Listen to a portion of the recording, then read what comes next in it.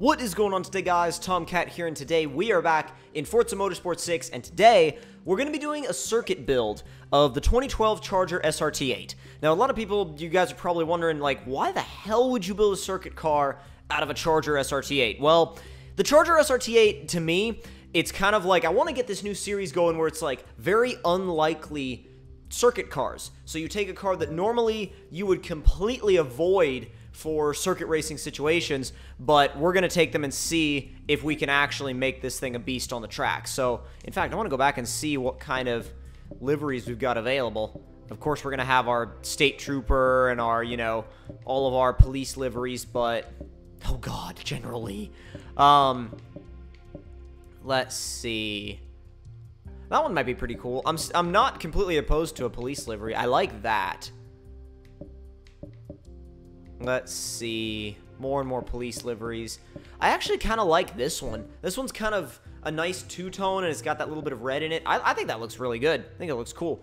So the goal with this car is to, you know, lower it, build it, get it ready for the circuit, take it out to a circuit, and run it in rivals mode and see how high up on the leaderboards we can actually go with something like this.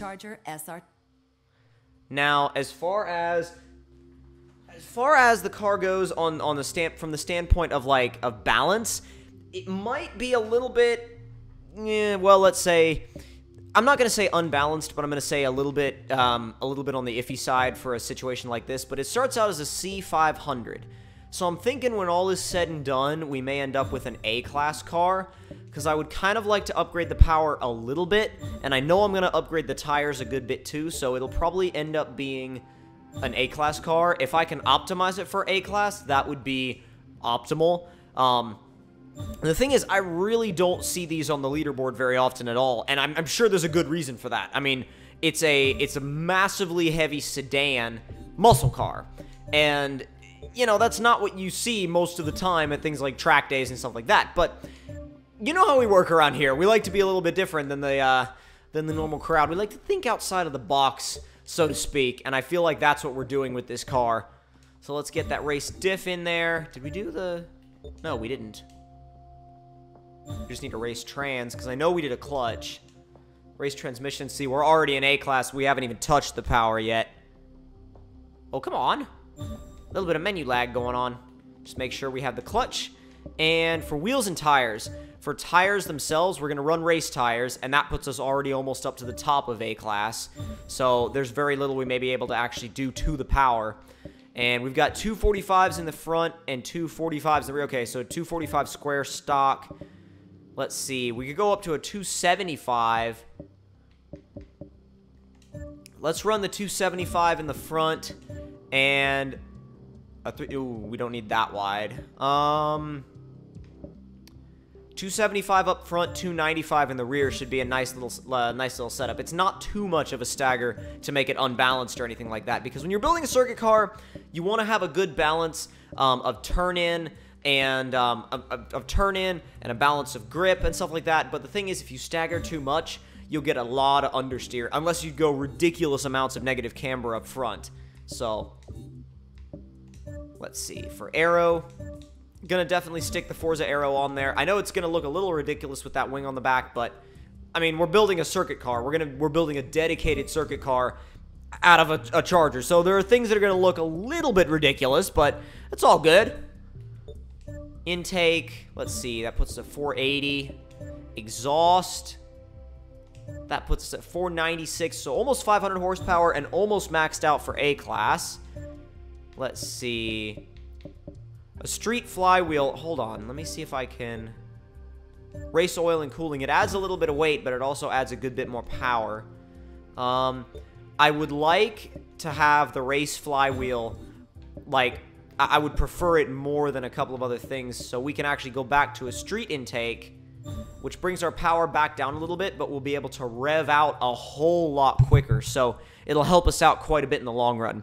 I'm going to slap on a quick tune, and then we're going to uh, do a little bit of a test run. Then we'll take it to uh, to uh, the Rivals mode and see what it can actually do to take it to the leaderboards. Now, I'm going to run 1.5 in the front and 1 degree in the rear. And I, I, I feel like that's a nice baseline setup to work with. And then for the ride height, we're going to bring it all the way down. And cornering, we'll leave that alone for now. Brake balance, a general setup is 55% front and 105% uh, braking force or pressure. And for the diff, I'm going to bring it back to 70-30 because I feel like 70-30 is has worked for me really well in the past. Now, some muscle car guys run like a 70-60, so it just depends on what I guess you're going for. I'm going to run it at Watkins Glen. I like running time attack cars at Watkins Glen. Um, and, I, and yes, I am going to call it a time attack car. I mean, it's not a usual time attack car, but for all intents and purposes, purposes, it is a time attack car. It's talking about, it's, it's funny, it's talking about drag tires, and I'm like, hmm, I should build some drag cars. But let's see how this thing, let's, see, let's see how it sounds, and then let's see how it does.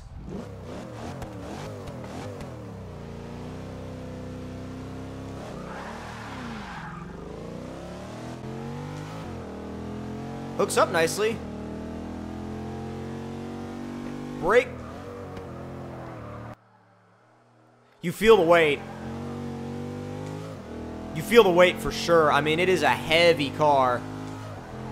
But that actually doesn't stop it from turning in pretty nicely, pretty predictably. I mean, you feel the you feel the mass of the car, but you don't feel this you don't feel like an overwhelming sense of like, wow, this shouldn't be here. It's more like it's not a sense of like this car shouldn't be out here. It's more a sense of like like I'm to need to do a good bit of work if I'm if I want to make it fast.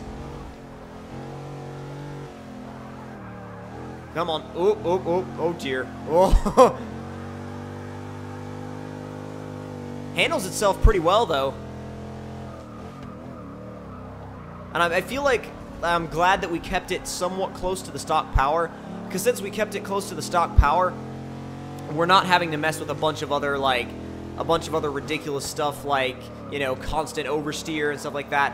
I mean, it'll kick the tail end out if you want it to, which it has just enough power to be a little bit squirrely at the back end, but it's not, you know, it's not going full drift car on you or anything like that. So I'm going to see what it can do on a flying lap. I'm sure it's not going to be anywhere close to, like, say, what my Time Attack GT86 would do on this track, but I'm curious to see what it would do in relation to other, you know, four-door Chargers. I say four-door, you know, meaning modern Chargers. Come on, come on, come on! Into third.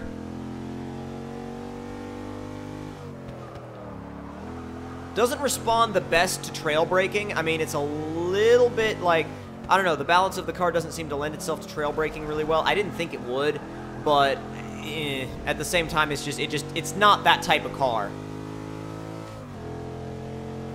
All right, flying lap. Let's see what you can do, or what we can do. And go.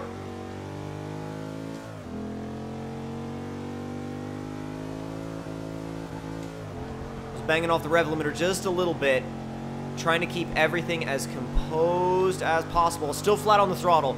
It's 100% flat through there. Got a little squirrely at the back end, but nothing too bad, nothing too terrible. Coming up to the first chicane. Gonna take it in third, cut the rumble strip. Are you kidding? Oh man, didn't want to make that a dirty lap. Normally you can cut it that much and you'll be fine. That's the first time it's it's made that a dirty lap on me in a while. Oh, that was bad. That was bad wide.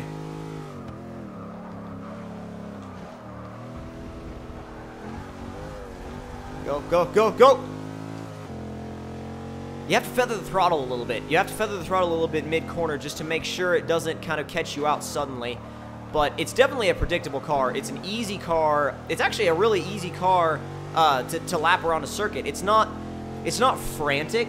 I mean, I, my for example, my GT86 Turbo is fast, but it's frantic. You really have to be on your game if you're wanting to drive that car fast. And I feel like it's it's it's kind of a muscle car versus tuner car thing in a way, um, but it's also a naturally aspirated versus turbocharged kind of thing in a lot of ways too, because turbocharged cars, you're always having to work to keep that boost up, and if you lose the boost, you're going to have to get spooled up again, especially if you're running a single turbo, because if you're running just a big single, it, it's it's going to be uh, it's, it's going to be a full-time job sometimes to keep that turbo spooled on the track, especially if you're in and out of some really slow sections. Come on, come on. Let's make the next lap clean. Let's see. And brake. Whoa, whoa, whoa, whoa, whoa. We actually braked a little early. I'm surprised. I keep braking earlier than I actually have to in this car because I'm here thinking like, holy crap, I'm in a massive four-door, you know, Charger. I feel like I need to brake insanely early, and in, in, in, a lot of ways I don't. In a lot of ways I don't, and I think that that's because, in, in, in a sense, it's because of the braking bias that we changed, and it's also obviously because of the race brakes that we upgraded to. But, woo, getting a little squirrely under braking. A little slower through there than I feel like we could have been, but it's okay because we kept our lap clean. Just make sure we don't run wide right here. Get on the power.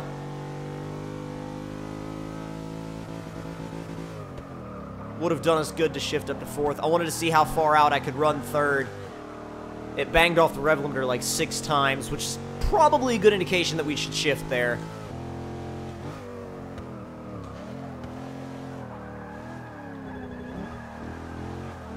Go, go, go, go, go, go. Power up the hill. I think the biggest thing with this car is that in the grand scheme of things, I would say it's not bad. In comparison to other cars of its type, I would say it's great. So when you look at it from that kind of sense, you realize that it's like, on one hand, you're like, oh, okay, it's it's definitely not the fastest A-class time attack car by any means, but is it, you know, is it good for what it is? Is it good for like the other cars in its own little category within A class? You know, four door muscle cars. Yeah, it's fast for that. Go. Way up. Way out. We're going to put down a 202. 202 is good. 202 is good. I mean, really, I, and I, I didn't realize that that we went directly into. I mean, we are in test drive mode, and I didn't realize it was going to start already comparing our target times. But, and, and, and it's funny enough, because with that fact, with that being said, we kind of don't have to go, we kind of don't have to go into, um, like, straight into rivals mode. But anyway, I think the big thing with this car that I'm taking away is after I do these episodes, I'm going to evaluate the cars, I'm going to evaluate what I think of them, and kind of see if they're worth pursuing as a car in the future, like as a car that I would use for more time attacks. And this car, I actually think I might because it's a little bit, it's just a little bit different. I feel like if you showed up in an online race with this car, it'd be kind of one of those like, huh, like you'd look at it and you'd be like, huh, this guy doesn't know what he's talking about. And then you actually see him run and it's kind of like, oh, holy crap, that guy's actually kind of quick. So I would actually recommend if you want something different, give this thing a shot, build one, see what you think. And if you guys want me to do more unlikely circuit builds, then let me know in the comment section below what you guys would like to see, because I would like to get this to be kind of a community-involved series and see what we can get out of it, see what kind of cars we can get out of it, and, and, see maybe if we find some hidden gems, who knows. But if you guys enjoyed this video and enjoyed this uh, this episode, then don't forget to leave me a like, tell me in the comment section down below what you guys thought of it, and if you're new to my channel, don't forget to click that subscribe button for more, and I will see you guys in the next one. Talk to you guys later, and I hope you guys have an awesome day. See you guys in the next one.